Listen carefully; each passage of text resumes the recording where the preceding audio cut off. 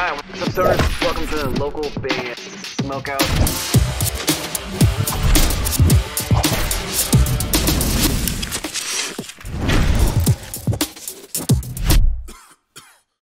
Yes, ladies and gentlemen, Zack of Ghost Killer Entertainment in the building. Give me a hell yeah! What up? What's up, man? Uh, not much, not much. Just having a chill night, you know? Hell yeah. Uh, for those that may not know you, Zack, can you please properly introduce yourself? Uh, let us know whereabouts in the world you are right now, and plug or promote anything you'd like. Yeah, so I'm Zack. I'm the founder of Ghost Killer Entertainment, and I am from Minnesota. So, being from Minnesota, you got to be a Vikings fan. I am not actually a big sports fan, actually. Oh my. It's okay. it's okay. No worries. Uh, dude, so before we dive into all the GKE stuff, uh, you're you're a musician yourself, correct? Yeah, I do uh, vocals, I do singing and screaming. What uh, what's what's your band that you're in so we can we can plug and promote that as well? Um, the project I have is called Sailias. Sailias. Okay, I'm gonna look that up as well. But what what made you want to start uh, Ghost Killer Entertainment, and how did it all come about? Oh God! Like, it actually was kind of a, a spur the moment. Um, just kind of something that I was doing on and off. But I never really took it seriously. Is this the right thing, then- by the way, on the screen? Oh yeah, yeah, that's the right one. Perfect, perfect. Uh, so continue. You, you kind of just did it and then didn't really pay attention to it. Well, it was more like I wanted to promote new and upcoming bands, and that was always something that I always loved doing. Like even um, I had like multiple YouTube channels where I'd just be putting up random bands that were new and upcoming that I'd find on like leaked websites, like people that weren't they weren't knowing these bands. And I was like, you know what, I'm gonna give these guys like a platform to go like promote them. And then the I started Ghost Killer then back in 2014, and eight years later now here we are. So now it's like pretty much probably consumes all your time, I would imagine. yeah, actually, I just took it full time two years ago, actually, so that's been really nice. Hell yeah! Congratulations. How how long have you been uh, just messing around with your voice as far as being a vocalist? 14 years, actually. So all the way back to like high school days. Oh yeah, yeah. Back in high school, like I was always into writing lyrics. I was always writing all the time. So I was like, why not try something with this? And I mainly started doing screaming at first, and then I ventured into singing, and then now I do both, and I love the hell out of it. Hell yeah! Does does Sal- Sailias have any uh, upcoming shows that you can promote or discuss? Not at the m- moment. It's mainly just kind of like an online me project, but I am recording two new singles right now at the moment. Who are you, who are you uh, going with for for production? Um, I'm actually going with my buddy Austin Brady. He actually was a part of the band Out Came the Wolves. Okay. If you ever heard of that band from ever ago. Hell yeah. Very cool. Well, let's jam let's jam some tunes here. Get back into the questions shortly. Uh, what would you recommend we start with? Uh, if you're going for more uh the diversity, I would go with Breathe In, Breathe Out. Hell yeah, let's let's check it out. Hopefully you guys that are watching enjoy it. Please support him. Hit that follow button. Is that you singing also? Yep. Dude, this is badass. This is Thank you, tight. So so in high school, we're talking high school bands. What what are you practicing in the car to to get used Oh. to screaming? I was full on practicing my screams to like Alesana, Skylit Drive, Silverstein, even Aiden back then, if you remember them. Dude, all, all four of them were, are awesome. I, I've seen all four of them live, probably in the same Warp Tour, I would imagine. Yeah, my actually my first show I ever went to had almost all those bands. Well, actually, it did have all those bands. It had Skylit Drive, Alesana. Was this the Jag the era uh, or Jordan Blake era? It was uh, right when Jag joined, actually. Like it was their first time having Jag. And then it was when Escape the Fate first had Craig Mabbitt, but I didn't know that. Dang, that was only like a, that was a small time, small. Well, no, I mean at first, because at one time he was almost in Skylit Drive, if I Yeah, if I remember. That's right. Even Johnny Craig was almost in a Skylit Drive too. back That is then. wild. That is crazy. Hell yeah. Uh, I know you're a big gamer too. What are you What are you gaming on right now? And uh, just top three favorite games ever made. Oh god, that's hard. I I've been playing on my PS5 a lot, playing Destiny 2. That's like my main go-to game. But my other two favorites are Kingdom Hearts and Pokemon. Some good ones. Good ones Oh, for yeah. sure. Kingdom Hearts, wrong. especially. Uh, Oh, God, fantastic game. Uh, I do want to do some trivia with you before we play a second song. Uh, but Oh, yeah. y- you get to pick the trivia. Um, what is your what movie or TV show have you seen more than any other? Doesn't have to be your favorite. Just you've seen this movie. Nightmare Before Christmas. Nightmare Before Christmas. Tim Burton. Oh, let's yeah. go. That we should just play This Is Halloween. Then it just seems fitting to go right into that. Oh one. yeah, actually, fun fact: one of my buddies uh, actually hopped on the vocals with me do- at the end, doing like screams with me during the last breakdown. Of this of this song right here. Yeah, it like we just went all out screaming. I did like this mani- maniacal Joker laugh, just going nuts with the song. Let's see. Let's see what you got right here, and I'll make sure to play the last part. All right, sir. Prepare to be stumped. I think. I hope. All right, Nightmare Before. Christmas. What you got? What job does Jack give to Lock, Shock, and Barrel? Are you, are you- seriously, you, you asked me that one. I gotta see. I, I- you'd be surprised. I gotta start off with I, what I think is an easy one, but even sometimes I stump people on the easy ones. Obviously, the second one's gonna be wicked hard, but yeah, this is a fairly easy one. Uh, it's them going to get Santa Claus. Of course it is. hell yeah! There we go. but I'm telling you, on the regular, I stump people all the time on the first one, and they get to pick the movie or TV show. And it's landed on take a shot, so I have to do a shot of whiskey while continuing the show. You Ghost Killer Entertainment obtaining talent to put on the roster. What do you guys look for? honestly, I look really for the talent and the drive from musicians. That's the main thing. Because there's always a lot of bands that, like, you see their work, but they're not putting the full effort that you know that they could do. Like the two newer bands I literally just signed, even all the bands on the label, honestly, put in so much work, and I always do my best to try to help them, market them, and push them in any way I can. Do you specifically find them? Are they messaging you, or do you have like uh, like an A of an A them and R? have been I've known them for a while. Like example, we were giants. I I was promoting them back in 2016, and they were one of the first few bands I signed to the label when I started it back in 2020. Hell yeah, very cool. Uh, is there is there? You said earlier you had you had two new singles in the works for the band. Um, Yeah, for- can when can yeah. when can we roughly expect the first one to come out? I'm actually about to record later this month with my producer, so waiting on getting that done, and then debate about if I do a music video for one of the songs or if I just go lyric video or just have some fun with them, you know. What's your least favorite genre to listen to? You'll still listen to it because you're at a party, you're at a friend's house, but you just can't stand this. I can't stand country, even though, funny enough, I just put out a cut a compilation of bands doing country covers. Was it was it a nightmare to listen to? it wasn't that bad. a lot of the bands actually picked some good bangers, even though, oh god, the the thing that made me laugh the most is one of the bands did a cover of "Hurt" from Johnny Cash, But in oh, okay, yeah.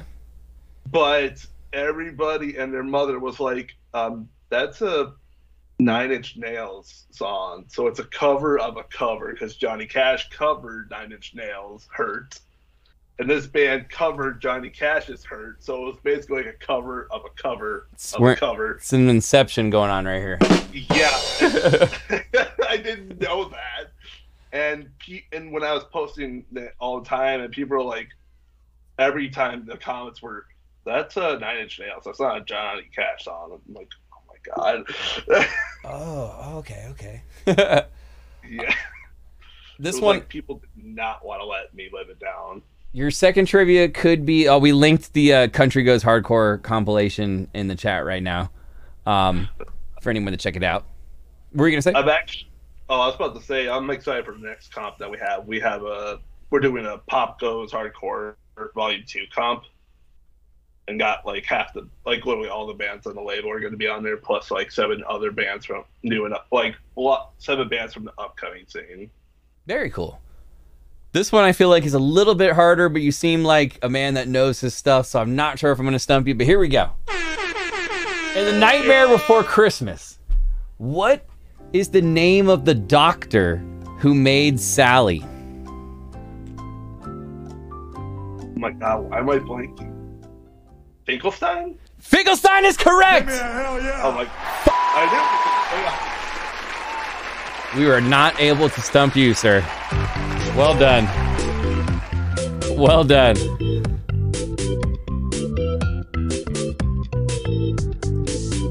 Oh my goodness. It's gonna land on it again. Except this time I gotta put. Oh, I thought I was gonna put a hot sauce land on the hot sauce one. It was that close. Oof. What do you got going on the rest of the day, dude? Um, I'm gonna be playing some Destiny with some friends of mine, and then just chilling with my doggo. What kind of dog is it? I have a husky black lab mix. Very cool. I can actually show you real quick. Hey, Red. Hey, say hi. when you oh what's up doggy what's up bud hell yeah He's a very happy boy. is there is there a chance uh gke could ever sign someone that's not in the scene style of music that's a different form of of music but you still kind of want to venture out Honestly, I wouldn't mind promoting emo rap. okay Honestly. it seems Like, to go would- hand in hand with with metal and rock music for some reason Oh yeah, like I wasn't always the biggest fan of it, but uh, one of my friends really got me more into it, and I was like, okay, I'm I'm actually digging this. Like, I got into Little Otis and uh, a few other people, and I was like, okay, yeah, I I'm definitely want to check this genre out more. If you had infinite money so you can you you can go on vacation you can spend millions and it doesn't even come close to f- denting the bank at all where's your dream vacation and what car are you buying while you're there Honestly, I there's actually a few places. Okay, it's tied between going to Ireland or Japan. two great answers T- top five on my list I both of them I don't know honestly, to be honest. Are you a big car guy or not really I'm not a big car guy. i I'm more of a big ass nerd when it comes to video games. for sure so maybe like a like an escalade that has like a bunch of tvs and video game systems inside so, so you have a driver and you can still game in the back seat Yeah, yeah, said yeah that'll work hell yeah yeah. That'd be perfect. Very cool. Uh, were you at any other other bands besides this one that you can name drop? Uh, there was one other one, but I'm not. Uh, no, I'm embarrassed by that one. What what kind of genre was it? It was uh okay. So it was kind of a confusing because we had basically it's all of us trying to put our genres together, but it was I kind of consider it more post hardcore. But we had djent, we had pop punk, we had old school punk, and then my post hardcore like screaming and singing influence. But it was kind of all over the place. Like we tried to mash it all together and we had a five track EP that I was excited to record, but we never ended up recording it. And the only song we ever recorded was a Owl City uh, Good Time cover. Okay, I remember Owl City for Oh, sure. yeah. yeah, they're actually fun fact. I'm a town away from where uh, Adam from that from Owl City is from. Interesting. Yeah. Uh, what what is a a business adventure? we just got we just got slapped for 500 bids. Uh, what is a thank you? What is a business adventure that uh, you would you see yourself getting into? It's just not time yet.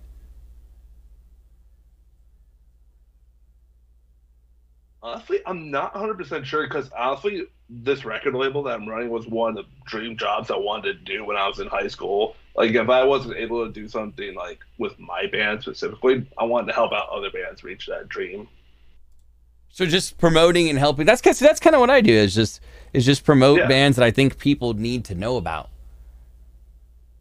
Yeah, it's yeah. Honestly, that's been one of my favorite things because, like I said, like how I started was I'd be going onto these like websites that would link these bands' albums all the time, and I'd be checking out these guys' music, like I'd be like, how is nobody listening to these guys? It'd be like people that have like maybe like a few hundred fans at most, or barely any. And I, I'm still friends with a lot of those guys still to this day, like that I've been promoting since then. Like I had a new Fame on Fire, like when they were first starting out, and I worked with them in the beginning, and that was a lot of fun.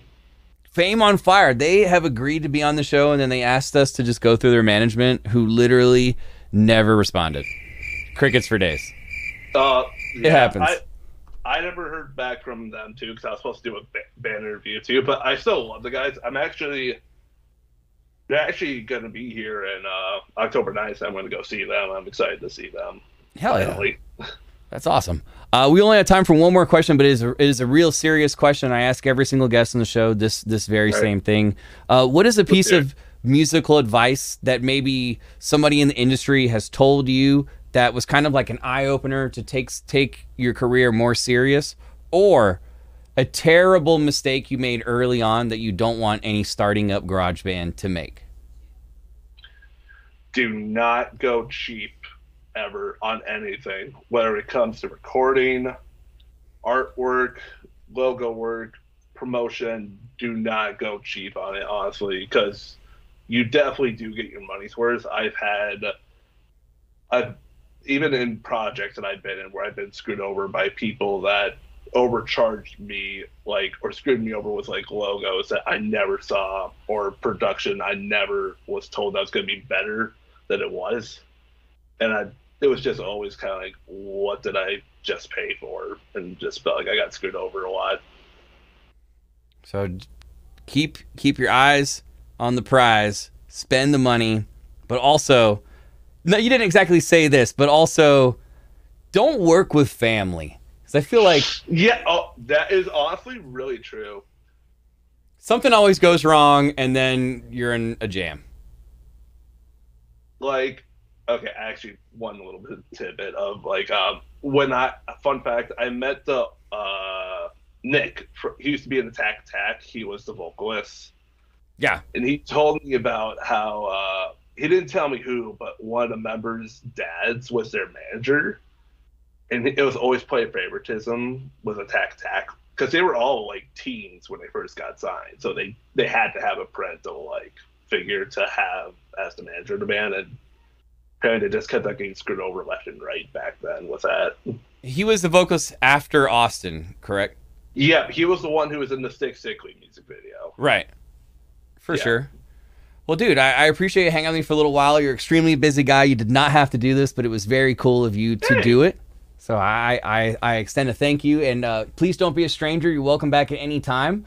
Everybody, please go support his band Sailias and Ghost Killer Entertainment, which you probably already know about, but please go hit the like button, the follow button, and support them. Brother, thank you so much. Have yourself a fantastic day, and hopefully we'll catch up soon. will do my dude always down to come back again Excellent. Zack of Ghost Killer Entertainment! Give me a hell yeah. Cheers, brother.